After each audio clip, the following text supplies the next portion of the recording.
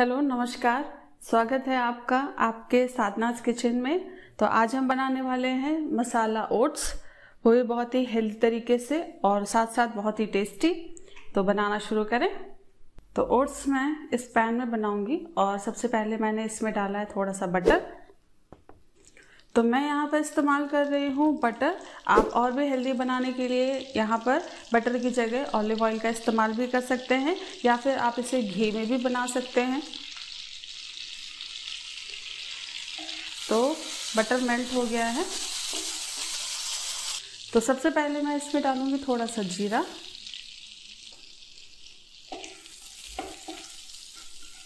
और इसे मिक्स कर देंगे।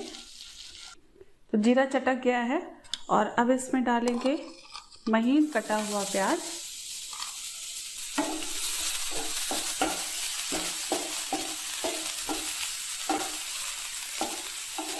फ्लेम को हम मीडियम रखेंगे। प्याज को आप जितना महीन काटेंगे, उतना ही अच्छा होगा। और अब इसमें डालेंगे हरी मिर्च। मैं यहाँ पर दो महीन कटी हुई हरी मिर्च ले रही हूँ। तो आप कितना चटपटा चाहते हैं, वो आप अपने अकॉर्डिंग सेट कर सकते हैं। अगर आप कम चटपटा चाहते हैं तो मिर्च की क्वांटिटी कम कर दें। तो देखिए, प्याज लाइट ब्राउन हो गया है। तो बस हम इस प्याज को इतना ही फ्राई करेंगे।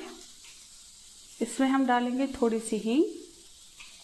अच्छे डाइजेशन के लिए इसे मिक्स करेंगे।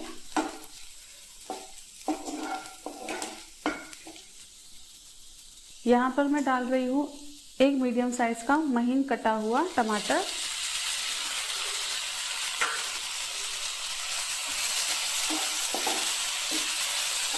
टमाटर को हम अच्छे से मैश होने तक इसको अच्छे से पकाएँगे। तो देखिए, टमाटर अच्छे से मैश हो गया है।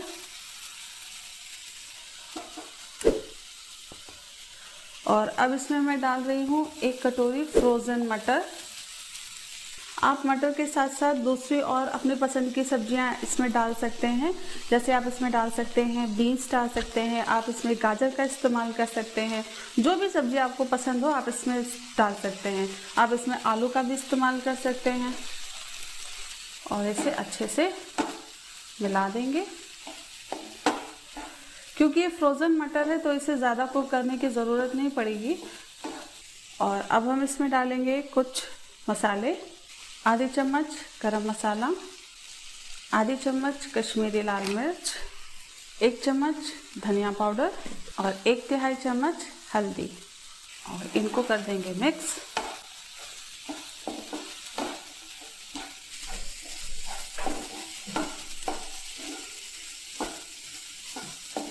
तो देखिए, सारे मसाले अच्छे से कुक हो गए हैं। और अब मैं इसमें डाल रही हूँ एक कटोरी ओट्स। और इसे भी मिक्स कर देंगे। मिक्स करने के बाद इसमें हम पानी डालेंगे। तो यहाँ मैं एक कटोरी, दो कटोरी और ये तीन कटोरी। तो एक कटोरी ओट्स के लिए मैं यहाँ पर तीन कटोरी पानी डाल रही हूँ। आप जिस भी कटोरी के नाप का ओट्स लें, सेम उसी कटोरी के नाप का पानी भी डालें।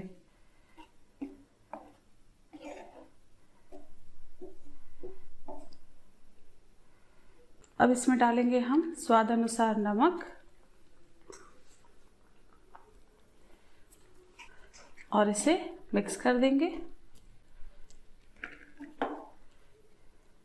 और पाँच मिनट के लिए इसे लो टू मीडियम फ्लेम पर कवर कर देंगे। तो पाँच मिनट हो गए हैं और मैं ले हटाती हूँ। तो ये देखिए, मसाला ओट्स बिल्कुल तैयार है और अब हम गैस की फ्लेम को ऑफ़ कर देंगे। तो जब भी आप वही पुराने तरीके से ओट्स खाकर बोर हो गए हो तो झटपट बनने वाली इस रेसिपी को ज़रूर ट्राई करें। बहुत ही टेस्टी लगती है खाने में और ओट्स तो होता ही हेल्दी है। तो इस तरीके से एक बार ज़रूर ट्राई करें। तो अपने घर में इस रेसिपी को ज़रूर ट्राई करिए और कमेंट्स में मुझे बताएँ कि आपको ये रेसिपी कैसे लगी। तो मिलते हैं अगले वीडियो में एक नई रेसिपी के साथ। टिल देन टेक केयर नमस्कार।